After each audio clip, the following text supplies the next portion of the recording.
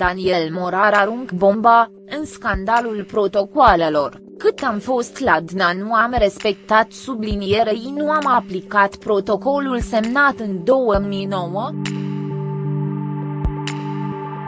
fostul procuror sublinierie Faldna, actualmente judector CCR, a decis să rup TCR în mega-scandalul iscat de desecretizarea protocoalelor dintre SRI sublinierei parchetul general. Daniel Morar a mărturisit, într-un interviu acordat jurnalistei Sorina Matei, ce atâta vreme cât a fost sublinierie Fladna protocolul semnat în 2009 nu a fost agreat, dar nici aplicat sau respectat.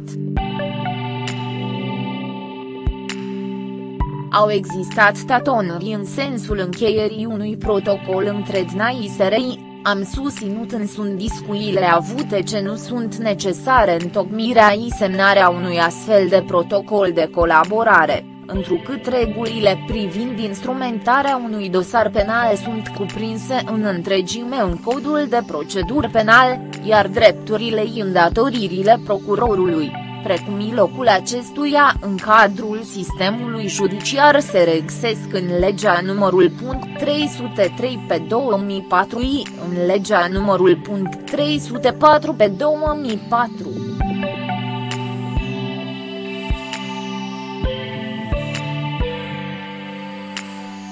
De asemenea, atribuiile serviciilor de informații legate de cercetarea infracțiunilor care cad în competența sunt limitate, potrivit legii, strict la sesizarea procurorilor competenți atunci când din activitatea proprie serviciului rezult date indicii cu privire la pregătirea sau comiterea unor asemenea infracțiuni, a povestit Daniel Morar.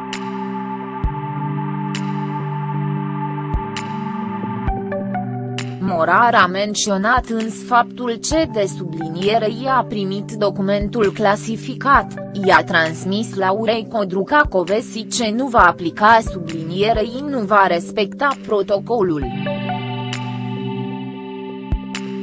La începutul anului 2009, am primit, în calitate de procurore Faldna, spre conformare, sub forma unui document clasificat, protocolul de colaborare încheiat între PUC și SRI. Este vorba de documentul care a fost declasificat și care a apărut în spaiul public săptămâna trecut. acel moment, după studierea acestuia, am avut o discuție telefonic cu doamna procuror general, Laura Codroacovesi, ocazie cu care i-am spus că eu nu agreiez un asemenea protocol în condiile în care prin acesta se adaug la codul de procedură penal, iar unele dispoziții sunt chiar contrare legii. Mi-a spus că aceasta este decizia luată ce protocolul trebuie respectat.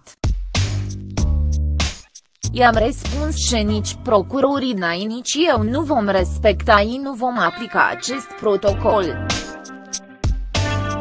Acesta este motivul pentru care nu am prelucrat protocolul procurorilor din cadrul DNA, nu l-am adus la cunotina lor dispunând doar arhivarea acestuia la compartimentul de documente clasificate din cadrul instituiei, a completat Morar. Întrebat însă despre unele formulare standard care ar fi invocat acest protocol sublinierei în cadrul cerora s-ar fi stabilit echipele operative comune de lucru, Morar a răspuns trans subliniereant.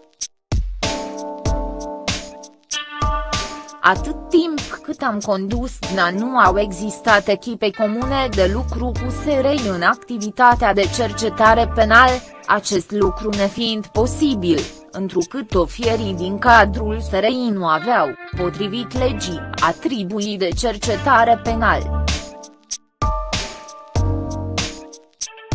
Urmare, virgulă, nu au existat nici formulare standard sub formă de tabele, pe care, în temeiul protocolului, procurorii să fie obligați să le semneze, a conchis Daniel Morar.